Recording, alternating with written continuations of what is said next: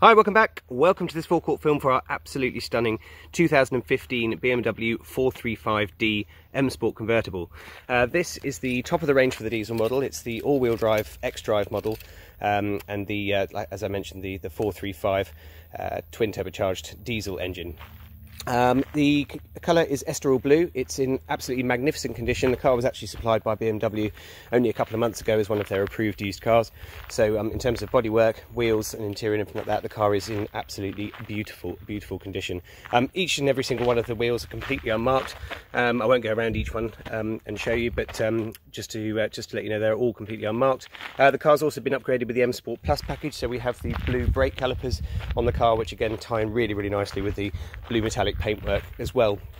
Uh, standard items on the uh, convertibles with the M Sport is the uh, xenon headlights, which you have at the front here uh, with the LED angel eyes. And you can just see those lighting up there.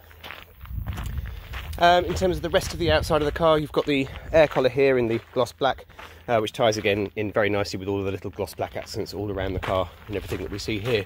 Um, all the roof area and everything like that before we pull it um, open uh, is all in absolutely perfect condition. There's no chips or marks or anything like that. Um, and I'll just show you the boot, just so you can see the space and everything like that in here.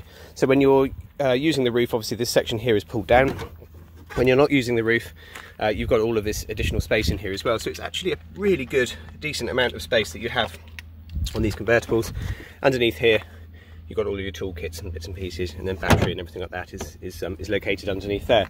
So if we pull this one back to enable us to put the roof down, we'll just show you that, and then I'll show you another handy trick that the, um, the convertible has, which is a, a really good idea. Um, so we'll just jump in and start the engine quick mileage check while we're here as well. You'll see today's mileage 43170. So in order to use the roof, we've obviously moved the, um, uh, the, the boot separator area already. So we just pull this and hold it. This will unlatch from the front.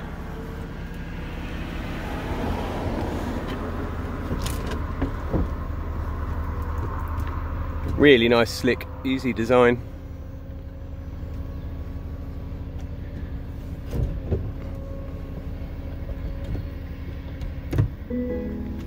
I'm not sure if you heard that, but it just tells you that the convertible, the convertible movement has completed. So if we come through to the back now, you'll see all of a sudden we have a roof in the back. Now, um, there's actually quite a decent amount of space still left, uh, but the entry point is a little bit difficult. So you've actually got quite a lot of height in here, um, but obviously very, very difficult to put a bag in. So BMW have thought of this, and we have a button up here, which lifts the whole of the back, including the roof, up to the top, which then enables you to lift this up again, put all your bags in uh, and everything that you're going to use for the weekend, and then you can pull this back down. Now, as long as that clips into place and doesn't foul any of the luggage or anything like that you've got in there, then you should be absolutely fine. Um, and obviously, if it's not, not in place, then you know that the roof won't work. Once that's back down, again, press this, and the whole lot moves backwards like that and it's all completed. So a very, very clever design that we've got there. We'll just take a quick look at the outside of the car now that the roof's down. Really, really elegant convertible these. And as I mentioned, completely free of any blemishes or marks all the way down. Both sides, all wheels, all perfect, no dents or anything like that at all. Through to the back, Decent amount of legroom, that's um, seats in my driving position. And then you've got things like cup holders and things like that in the back. Rear passengers have also got a 12 volt socket and also um, air conditioning vents and everything like that as well. So it's very, very decent amount of space. And then just coming around to the back, again you'll see the rear bumper completely free of any chips or marks or anything like that so really really lovely condition absolutely stunning so hopping back in, we'll show you some of the specification in here. We've got these really lovely single piece sport seats that we, that we have. Um, barely any bolster wear, in fact, nothing to mention at all. Um, it's uh, very, very light wear on this car. lovely chunky three-spoke M Sport steering wheel, uh, again with wonderful soft leather on there still, hasn't gone all nasty and shiny or anything like that. Uh, we have electric seats with memory for the driver's side, with also the inflatable side bolsters as well, so these ones come out here. I love these little M Sport emblems on the um, uh, flags on the uh, on the seats, and then we've also got a blue stitch that ties in really, really nicely with the blue line that goes across. That, of course, matches the the outside of the car as well. So, a couple of very, very sort of gentle uh, tie-ins in terms of the sort of styling and everything like that. But I think it works very, very well.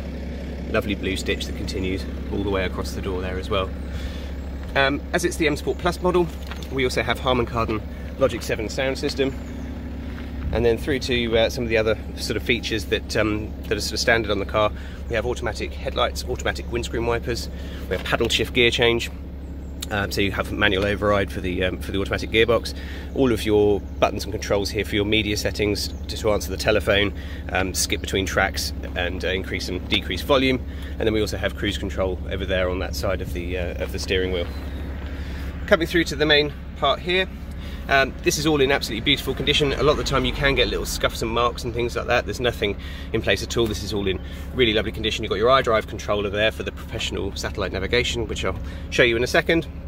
And then we also have um, the activation for things like parking sensors, which we have uh, front and rear. Uh, and then also the different driving modes that you've got as well. So if I just hop in and show you. You've got the full black panel display up on here, so the traditional gauges are changed with the um, the uh, addition of like a um, digital display there.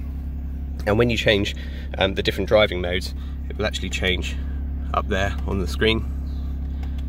Uh, it'll also put things like your satellite navigation instructions and any warnings or anything like that um, will, all, will all come up on there as well. So uh, very, very nice dashboard. Um, down to here, car has start stop technology which you can turn off just by pressing this button here uh, and this is the engine start and stop button as well. The iDrive controls everything up on the main screen. Um, so anything from um, your entertainment stuff like uh, radio, of which we have uh, DAB digital radio as well as FM and AM, through to the media section, and we have connections here um, in the front center armrest for your auxiliary and USB, so you can select those two on there. Um, but most people would use the Bluetooth media streaming, so you can uh, stream music uh, direct from your phone, from playlists, from Spotify, from podcasts and everything like that, um, direct through to the main system and control it all through the, the steering wheel and the, and the other multifunction buttons. So that's a, a very nice feature to have. Um, we also have Music Collection, which is an onboard storage hard drive, so you can actually download music into the main system and store it in the car. Um, and obviously you can come through and make changes to all of the Logic 7 setups and everything like that as well, um, and all of your um, equalizers and things like that. Um, the rest of the menu on here, we have obviously have like a full control panel for the car, so you can set up um, how things uh, react, what um, and sort of set up uh, driving modes, uh, driver profiles, so you can have different profiles for for different drivers. Um, and then we also have uh, vehicle information, which will give you information on the mechanical side of things. So you've got um, tyre pressure monitoring, uh, which also displays the, the tyre temperatures up on there as well. Uh, things like oil engine level, and then through to service requirements, and this will basically tell us what needs to be done and when. Uh, so the next item to be done is in June 2022, uh, which is brake fluid service. Uh, September 22 or 12,000 miles, depending on which one comes soonest, is for the engine oil. Vehicle check, uh, September 22 as well, Front brake pads have 21,000 miles worth of wear left on them and rear brake pads uh, have obviously been recently uh, changed and they have 47,000 miles worth of wear left on those. Uh, through to the service history screen, this will show you every time that the car has been to a BMW centre, so we can see here the um, the date in which it went in and then the mileage. So first one there at 17192. Uh, and then these codes over here um, are dependent on the BMW centre that, that, that, did it all, so that will correspond to a specific BMW centre. So you can see from here it's been done extremely regularly. The last one in July of this year were with the rear brake pads and then it would come through to September last year. It was the the last engine uh, service, which is why uh, it's not due again until until the, the, the following year, because these are all on two-year intervals. So all of that information is there for you to uh, to see at any time. Um, in terms of the other bits and pieces on the screen, this is our full screen full widescreen, sorry, uh, satellite navigation. This covers you for the whole of Western Europe, enables you to uh, use full postcodes and everything like that as well. Uh, very, very nice and easy and intuitive to use and um, has this sort of Google Earth kind of um, interface and stuff like that on the top afterwards, which is very, very nice. Uh, we have dual zone climate control, so separate temperatures for driver and passenger on either side, and we also have three stage heated seats for the front occupants as well, so that's just uh, how those ones work. Um, in terms of everything else, decent sized glove box, cup holders and everything like that down there, as well as this removable tray here with additional glove box.